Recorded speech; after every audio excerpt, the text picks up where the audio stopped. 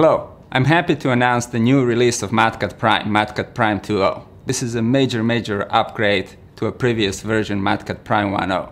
In this release, we are continuing to improve the computational capability of the product, ease of use, as well as capabilities that let you document your design and ideas better. In this release, we added 64-bit support. We are running native of 64-bit, leveraging multi-threading and multi-core architecture to let you solve bigger problems faster.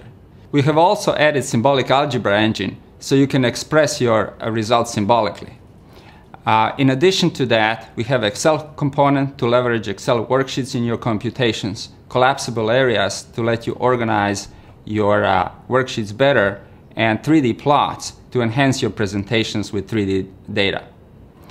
In the next few videos, I will show some of these capabilities.